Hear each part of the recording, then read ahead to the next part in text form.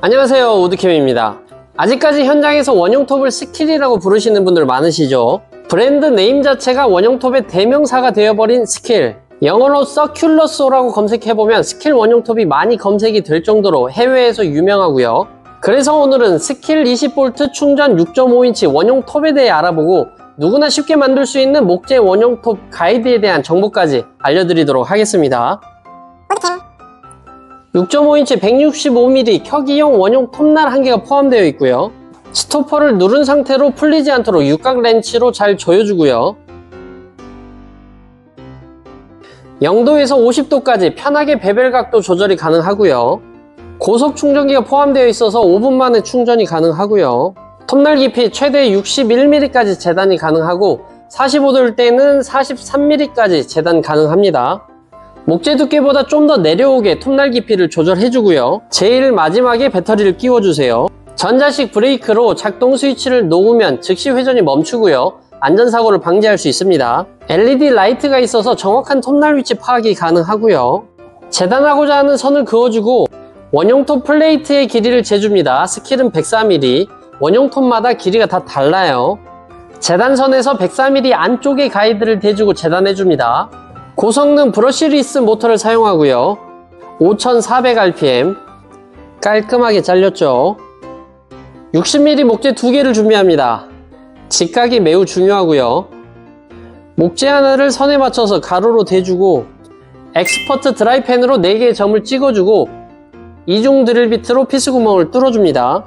목공에서 이중 드릴 비트는 필수입니다. 직각이 틀어지지 않도록 주의해서 피스 결합해주고요 직각 딱 맞죠?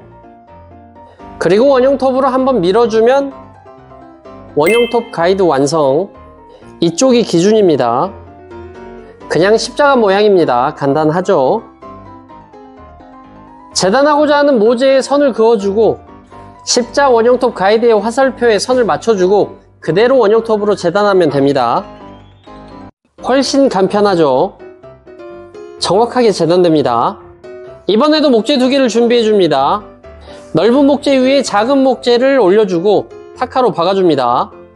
정확하게 수직 안 맞아도 됩니다. 그냥 대충 박아주고요. 그리고 원형 톱으로 한번 쓱 밀어줍니다.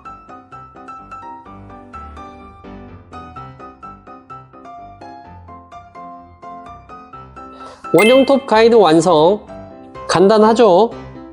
짜투리 목재로 쉽게 만들 수 있습니다 100mm 재단해 볼게요. 100mm 선을 그어주고 선에 맞춰서 원형톱 가이드를 고정해 줍니다.